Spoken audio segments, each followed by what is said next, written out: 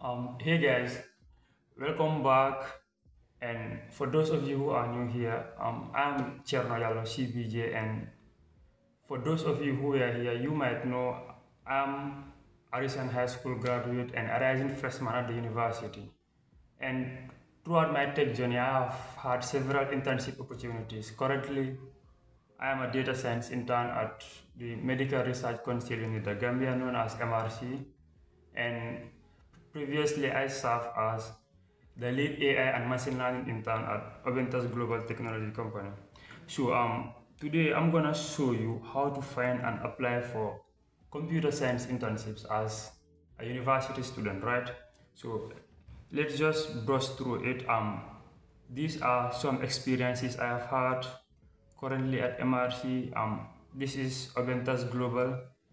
This is my scientific research publication. Um, this was a, a published speech I was giving, and this was just an award that I won. Um, so why do internships matter?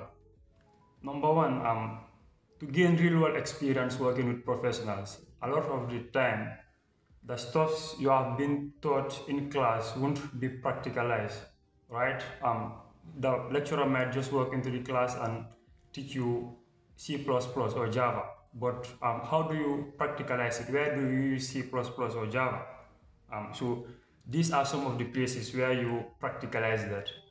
And the second one, which I would say by far is one of the most important thing, is um, recommendation letters.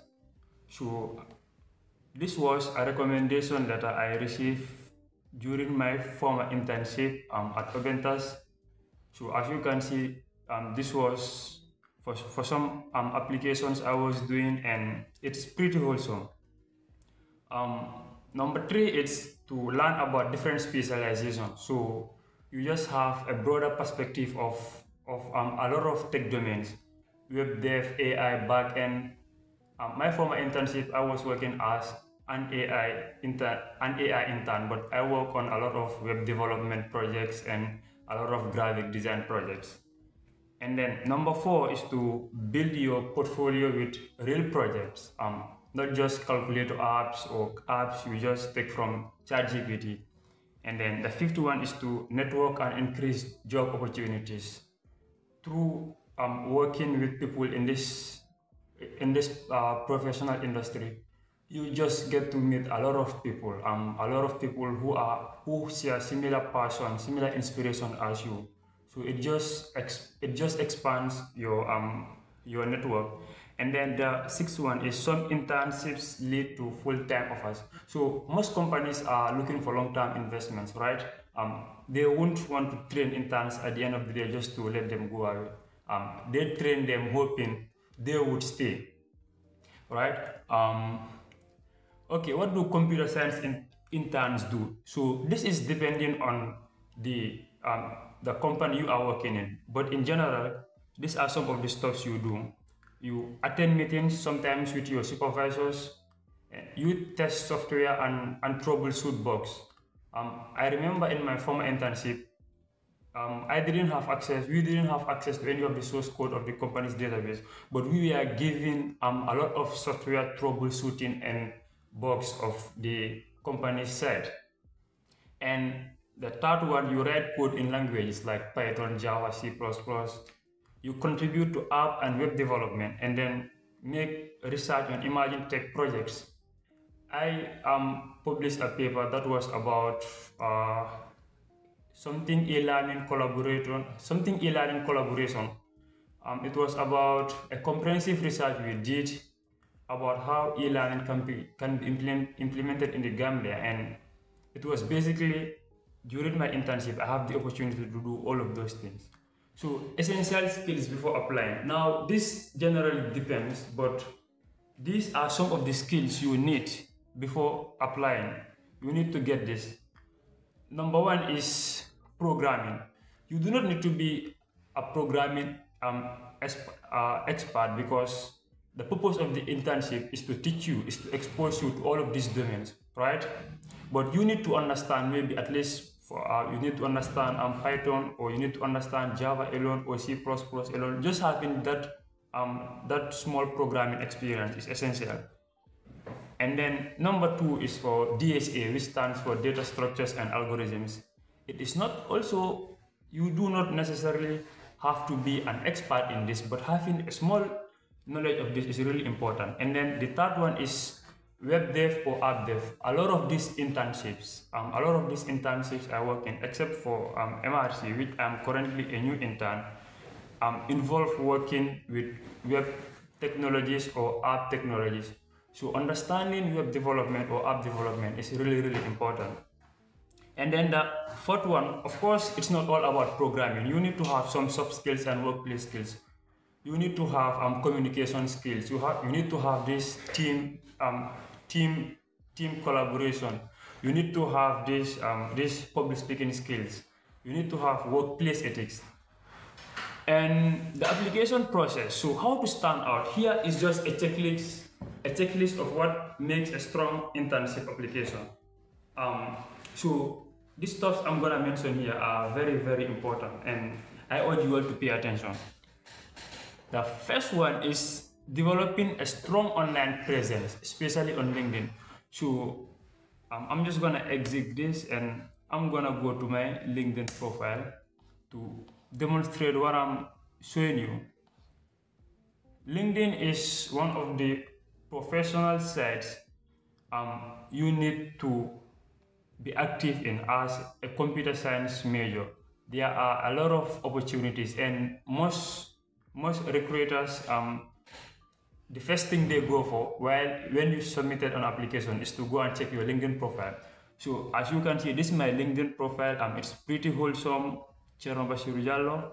And this is the description, my website, and about 2,000 plus followers. So your top skills, scientific research, machine learning, front-end development, and blah, blah. Your experience. So you just need to have something like this. Um, indicate all of your professional stuff and all of the certifications. As you can see, this is a certificate, a certification IC3 digital literacy. You need to indicate um, a lot of these stuff, and then your projects, your publications, volunteering, and everything. Um,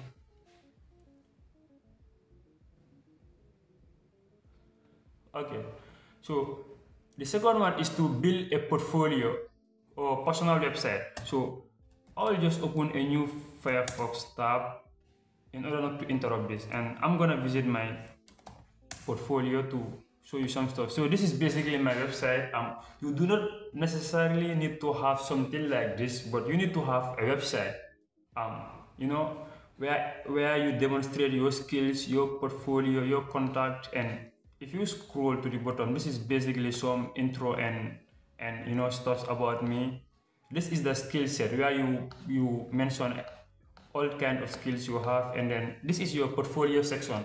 Um, the portfolio section is where you um, just basically back your skill section. In your skill section, you mention you are proficient in Python. So how do I demonstrate it? Obviously, you need to show um, projects you built using the Python programming language, right? Um, the third one is to write a very strong resume or CV. A CV just stands for curriculum vitae and it's basically something that contains all of your all of your projects and your your background. So I'm just gonna go and download my CV through my website so we can view it. Okay. Um, this is it. So as you can see, it's also pretty wholesome. You have the contact section. It just needs to be something very simple. Your top skills. At the time, this was my CV during high school. Um, obviously, there's an updated version now, but I do not upload it in the in the cloud. So top skills, scientific research, computer programming, and blah blah blah. You just mentioned it there. This is a short bio description about me. I'm Cherno Bashiru this and this, and then here I have my honors and award section. The, the things I've won so far. You have the April 2024 best team member at this company, IC3 certification, brightest program at Nusrat High School, and these are the research works, right? Um, Lowell AI, comprehensive research on e-learning platform implementation, STEMBIA, and stuff like that. So this is the experience. Um, this this contributes to about 80% of, of of, of your CV's importance. Um, a lot of people will just um, skim through this section to see your experience. So as you can see, um, I arranged them in ascending order, starting with the most important one. This was lead AI and machine learning intern at Obentas Global Technology Company and the duration from February 2024 to present. Obviously, um, I'm no more there. This was just um, at that time, this CV was for that time. And then my description was led AI ML projects, conducted research on e-learning platform implementation, won blah blah blah, and promoted Obentas at this service or at this event. And then the second was Nusrat High School ICT Club President. Um, I led the ICT Club, a club of more than 300 plus members. I organized inter-class tech competitions, raised more than $10,000 is for tech trips, co-founded Coders and blah, blah, blah. So I would encourage you to use figures when, um, when I'm crafting your CV because it really shows the impact of your work rather than just uh, mentioning some basic facts that everyone is on their CV.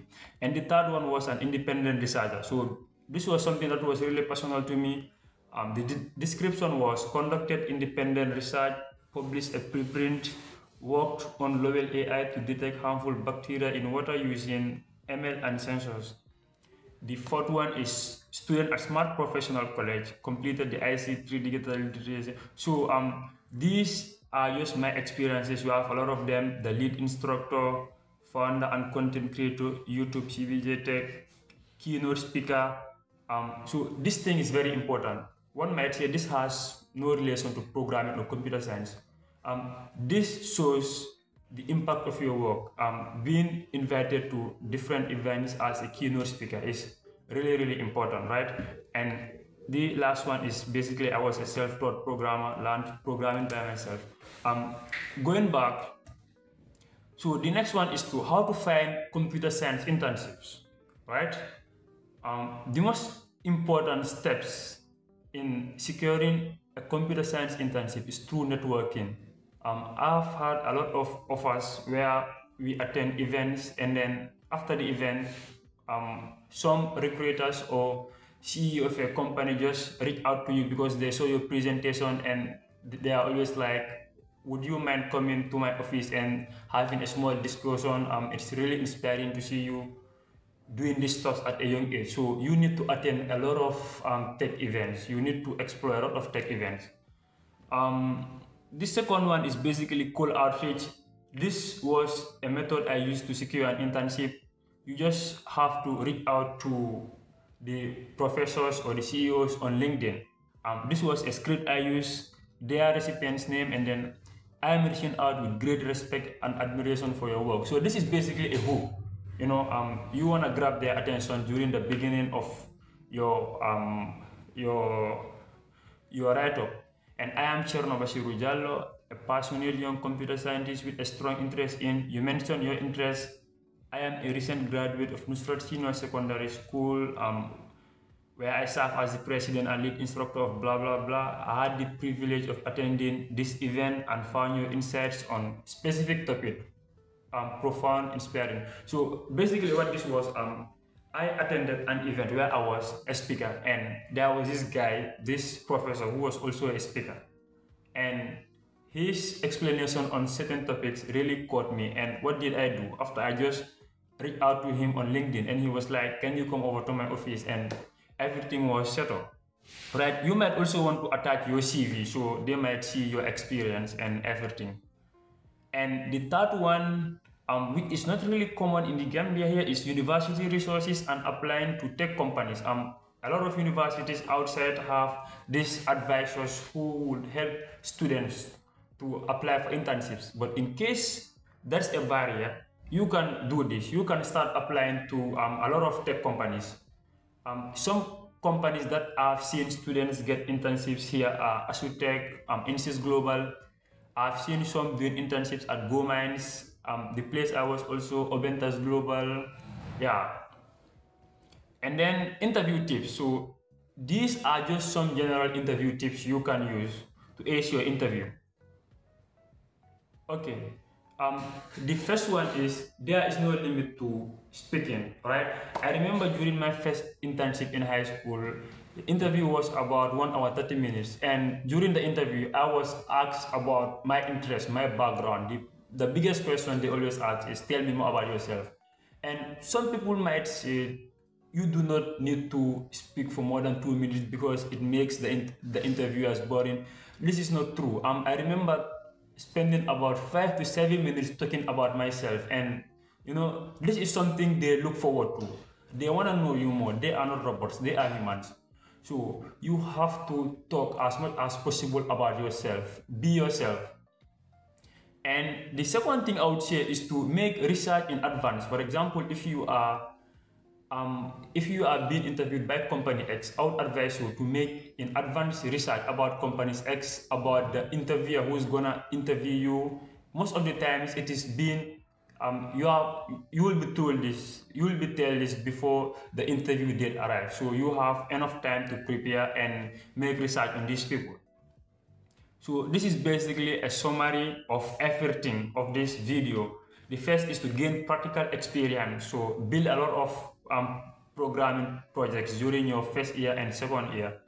You can use GitHub also and, and open source projects to enhance your credibility in the tech space. And second is to build a very strong online presence, LinkedIn, personal websites.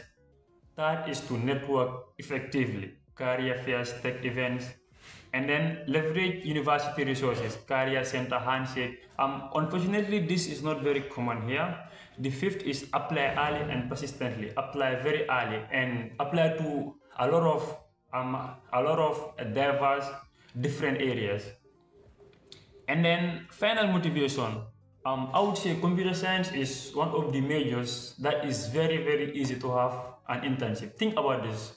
If you are doing engineering, let's say you are doing aerospace engineering, you need a whole lot of money to develop a prototype for your project to secure an internship. But for computer science, all we need is just um, a computer and a human and a human being, right? So it's um, really really easy compared to other domains to get an internship. And failures shouldn't be a stopping point.